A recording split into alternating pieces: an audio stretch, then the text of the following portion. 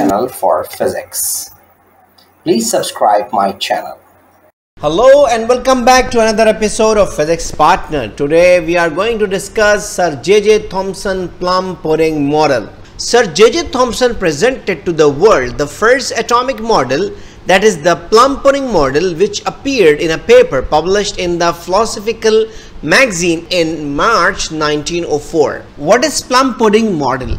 Plum pudding is actually an English dessert similar to a blueberry muffin. In Thomson's plum pudding model of the atom, the electrons were embedded in a uniform sphere of positive charge like blueberries stuck into a muffin. Because of this resemblance, it's considered as plum pudding model. The positive matter was thought to be jelly-like or a thick soup. The electrons were somewhat mobile.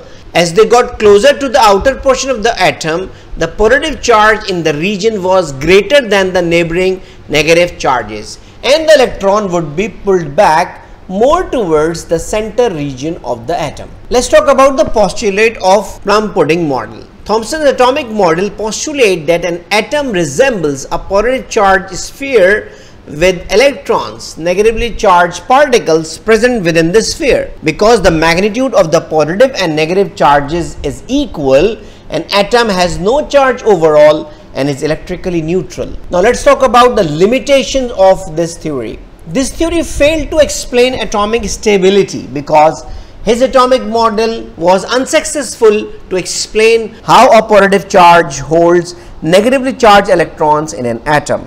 As a result, this theory also failed to account for the nucleus position in an atom. Thomson's model was unable to account for the scattering of alpha particles by thin metal foils as well. Moreover, there is no experimental evidence to back it up.